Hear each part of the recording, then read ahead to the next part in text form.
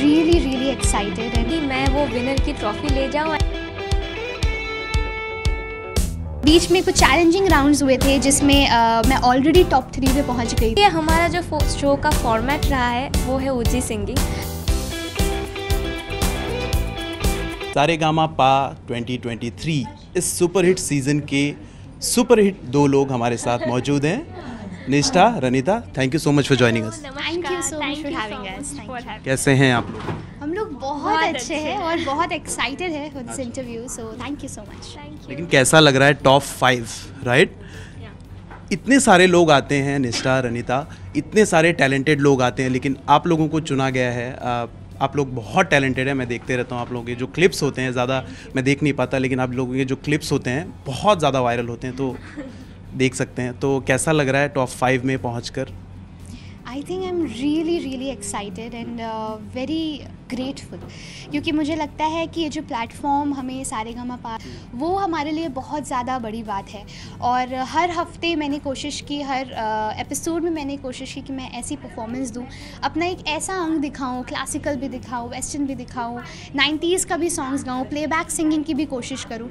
तो वो जो चीज़ें एक ओजी सिंगर बन के दिखाऊँ तो मुझे लगता है हर हफ़्ते मैंने वो मेहनत की है। और फाइनली जब मुझे टॉप फाइव में जगह मिली I became the finalist of the show और बीच में कुछ चैलेंजिंग राउंड्स हुए थे जिसमें uh, मैं ऑलरेडी टॉप थ्री में पहुँच गई थी। और uh, ये जो पूरी जर्नी रही है उसने मुझे एक uh, बहुत ज़्यादा सपोर्ट और मोटिवेट किया है to become a even better artist और अब मुझे लगता है कि ये जो इस शो में मैंने तीन ओ जी सॉन्ग्स गाए और यू नो इतने बड़े बड़े कंपोजर्स के साथ काम किया गाने रिकॉर्ड किए, फिर अनु मलिक जी हिमेश सर नीति मैम के यू नो के अंडर हमने जो कुछ सीखा and then the music team that we work with the entire people जो हमारे पीछे लगे हुए हैं हर एक व्यक्ति जो कैमरे के पीछे है उनसे मैंने बहुत प्रेरणा ली है और ये शो मुझे हमेशा याद रहेगा और अब जो विनर बनने की रेस है क्योंकि अब मैं उस पर खड़ी हूँ तो अब वो सब जनता के हवाले है तो आई रियली होप कि जनता हमें आशीर्वाद दे अपने votes they because I really really need it और ताकि मैं सारे गमा पाकी विनर बनूँ रनिता आप क्या कहना चाहेंगी? आपको कैसा लग रहा है? इतने बड़े मंच पर top five what do you feel about this I am very very very excited and grateful to each and everybody क्योंकि अ, मेरे मम्मी पापा का सपना यही था कि मैं वो विनर की ट्रॉफी ले जाऊँ and I take a step forward to the music industry of Mumbai and Bollywood and उसे उसी के लिए हमारा जो शो का फॉर्मेट रहा है वो है ओजी सिंगिंग और वो ओजी सिंगिंग के दौरान मुझे जो सबसे बड़ा मौका जो मिला है वो है जीत गांगुली सर के साथ काम करना which is a very very very big moment for me because एक सिंगर का यही सपना रहता है कि to work with the dream composers and I have done that just because this opportunity कि उन्होंने मुझे दिया जी टी वी ने. कि जिस कंपोज़र ने अरिजीत सिंह की डेब्यू कराई थी उन्होंने मेरी भी डेब्यू कराई है मेरी पहली ओजी गाने की डेब्यू कराई है। So it means a lot to me and I have tried my best throughout the show कि मैं अपना हर वर्सिटैलिटी दिखा पाऊँ। 240 गाने की लिस्ट बना के आई हूँ हर एक जॉनर कवर करके आई हूँ ताकि कहीं पे भी मैं रुक ना जाऊँ कि किसी भी जॉनर मुझे रोक ना पाए।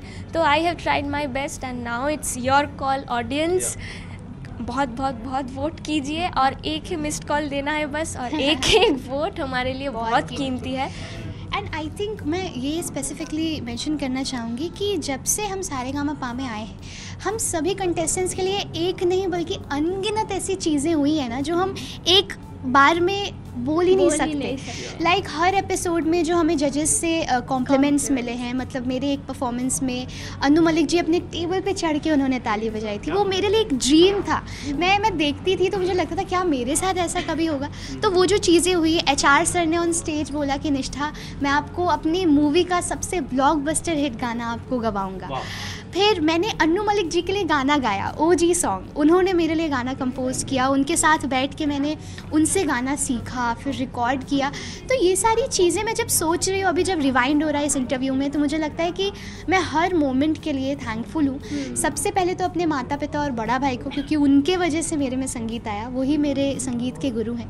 और मेरे बड़ा भाई ने मुझे मोटिवेट किया कि निष्ठा आप ओ जी सिंगर बनना है तो you have to go to Sa Re Ga Ma and then of course the god for you know for everything that I am doing today it's it's it's really really overwhelming and grateful feeling for me Nishtha जैसे पहले सवाल में आपने जवाब दिया उसका कि आपने कहा कि काफ़ी सारी चीज़ें सिंगिंग में मैंने ट्राई की बहुत सारे यू नो जॉनरास ट्राई किए तो सबसे ज़्यादा मुश्किल क्या लगता है आपको? um, मुझे लगता है कि ऑनेस्टली मैं बताऊँ मैं जब शो में शुरू मैंने किया तो मैंने क्लासिकल सिंगिंग से किया। और uh, हमेशा मुझे जो टफ लगेगा ना वो क्लासिकल ही लगेगा। क्योंकि ऑफ़ कोर्स जब आप क्लासिकल में पक्के हो जाते हो ना तो आप सब चीज़ें इजीली कर सकते हो। You can do western you can do you know you can do anything you can make people dance you can आप ऑडियंस को नचा सकते हो आप आप एक अलग और क्रिएट कर सकते हो। अगर आप क्लासिकल अच्छे से गाते हो तो हर हफ़्ते मैंने हर परफॉर्मेंस में एक अपना क्लासिकल अंग डालने की कोशिश की और अपने आप को चैलेंज किया कि लोग इस स्टेज पे आके ना कोशिश करते हैं कि अपने कंफर्ट जोन का परफॉर्म करें। ताकि जजेस उनको पसंद करें and it just happen but मैंने हमेशा यही सोचा कि मैं इसको ईजिली नहीं लेना चाहती। मैं चाहती हूँ हर मोमेंट काउंट हो और ऑडियंस जब सुने तो उनको याद रहे कि निष्ठा ने इसमें ये किया था, ये किया था। तो एक मेरी जो छाप है ना, एक एक्स्ट्रा ऑर्डिनरी मैं बन सकूँ, इसकी मैंने मेहनत की। और मुझे सबने बहुत ज़्यादा सपोर्ट किया है मेरी म्यूज़िक टीम ने, मेरे माता पिता ने, मेरे बड़ा भाई ने। तो आई एम वेरी हैप्पी कि मैंने वो सब किया और जजेस को भी वो पसंद आया। तो ऑफकोर्स मेरे लिए क्लासिकल ना हमेशा सबसे डिफ़िकल्ट रहेगा। और मैं हमेशा रियाज़ करती रहूँगी और मैं हमेशा कहती भी हूँ कि रियाज़ की जो सीमा है ना कभी ख़त्म नहीं होती और संगीत एक एक यू नो ओशन की तरह है जिसमें हमें सिर्फ़ तैरना नहीं हमें डूबना है। तो उसके लिए every day we have to work hard to achieve that तो classical is the very difficult but my favourite part अरे क्या बात है। रनिता आप बताइए जब आप स्टेज पर जाती हैं as a singer as a individual as an human being आप क्या सोचती हैं? क्या थॉट प्रोसेस रहता है जब आप स्टेज पर जाती हैं माइक लेके यार मुझे परफॉर्म करना है हिंदुस्तान की जनता देख रही है जजेस देख रहे हैं। क्या सोच क्या थॉट प्रोसेस रहता है उसमें? जब हम एक पूरे हफ़्ते की तैयारी के बाद वो तीन मिनट का परफॉर्मेंस देने जाते हैं दैट इज़ वेरी मतलब वो इतना रिस्पॉन्सिबिलिटी रहता है कि हमें अपने मम्मी पापा का सपना पूरा करना है इसके लिए हमने मुझे गाना है। मुझे गाना है इसलिए कि मुझे इस देश का सबसे बड़ा सिंगर बनना है। वो वो माइंड पे रहता है और पूरे हफ़्ते जो हमारे music team Sachin sir Vishwas sir Sahil sir सब मिलके हमारे पीछे रथी सर ने इतना अरेंजमेंट किया है पूरे शो में। हम सबके लिए तो वो उन सब की उम्मीदें जो है हम सबको उस पे खरे उतरना है। क्योंकि तो- जितना हम मेहनत करते हैं उससे कहीं ज़्यादा वो वो मेहनत करते हैं। रात रात में बैठ के गाने डिसाइड हाँ, करना हाँ, हमें तो देना वो ही रिस्पॉन्सिबिलिटीज जो है वो एकदम हमें उस पे खरे उतरना ही है। वो माइंडसेट चलती है कि सबकी मान रखनी है। तो at that moment I think कि यहाँ पे जो भी है आ- मैं पूरा आँख बंद करके गाने की कोशिश करती हूँ क्योंकि मैं मेरा जो स्ट्रॉन्ग पॉइंट है कि I try to connect with people मेरा फीलिंग एंड एक्सप्रेशन से कि मुझे लगता है कि हर एक व्यक्ति अगर कनेक्ट करेगा आपके गाने से तो वो सबसे अच्छी फीलिंग होती है कि कोई आपके गाने को सुन के रो रहा है। तो it means a lot for the singer who is singing the song तो मैं हमेशा वही कोशिश करती हूँ कि हर एक वर्ड को मैं एक्सप्रेस कर पाऊँ। एंड बस और कुछ नहीं चाहिए अच्छे से गाना वो डिलीवर हो जाए। बस उसके बाद तो भगवान सबसे है। सबसे इम्पोर्टेंट बात ये भी है कि हमारे जजेस ये हर हफ़्ते बोलते हैं अनु सर बोलते हैं कि उन्होंने हमें बहुत सोच के तराशा है बहुत सोच के ढूंढा है। तो वो जो इन्होंने बोला कि हमारे पेरेंट्स का जो हमारी सीख है हमें उस तीन मिनट में करना है फिर हमारी पूरी म्यूज़िक टीम जो लगी है फिर everybody like can you believe कि हम एक स्टेज पर खड़े होते हैं?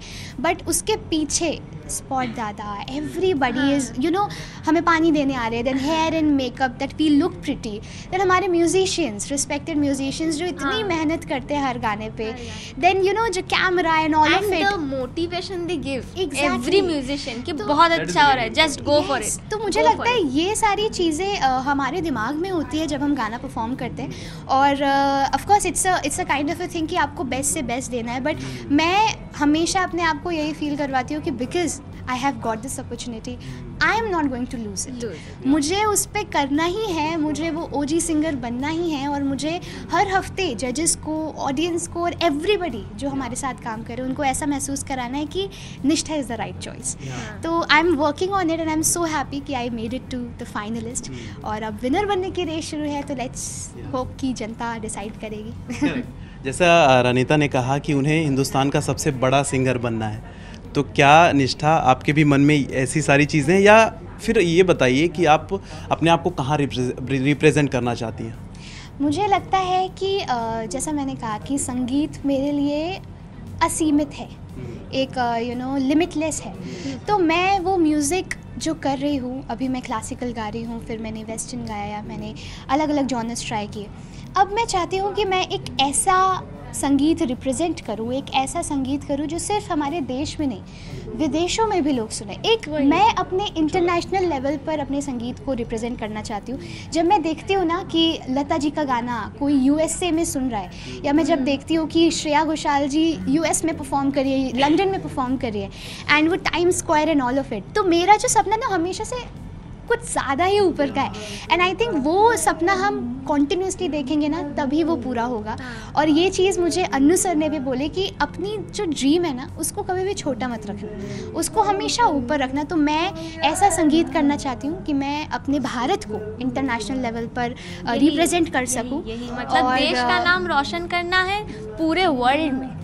तो जैसा कि उनका जो एक है वो मेरा स्पेसिफिक गोल जो मैं अपने बकेट लिस्ट में लिखती हूँ वो यही है कि I want to be a singer जो कि सिर्फ़ हमारे भारत में नहीं बल्कि इंटरनेशनली सुना जाए। और मैं जब अपने भारत को रिप्रेजेंट करूँ इंटरनेशनल लेवल पर तो कितना प्राउड फील होगा हमारे सभी भारतवासियों को हमारे पेरेंट्स को। तो मुझे लगता है वो मेरे लिए बहुत बड़ी बात होगी। तो मैं उसके लिए दिन रात मेहनत कर रही हूँ और अब मुझे सारे गामा पा ने जी टी ने एक नया होप दे दिया है ओ जी सिंगर बनने का। मेरे जो तीन तीन जी म्यूज़िक से गाने निकले हैं मैंने शूट किया है तो वो सब चीज़ों ने मुझे और ज़्यादा मोटिवेट कर दिया है to be even better to work even harder तो I am on this race और मैं बहुत अच्छा करने की बहुत अच्छे से मेहनत करने की कोशिश करूँगी ताकि मुझे सबका दिल जीतने का फिर से हर बार मौका मिले। क्या बात। ऐसा लग रहा है ना कि आप लोगों को बस सुनते जाओ सुनते जाओ सुनते जाओ पर हमारे पास ज़्यादा वक्त है नहीं। Thank you so much guys for talking to us and all the very best Thank you so much. Thank you. Thank you so much for talking to us. Thank you. Thank you, Nishtha. Thank you.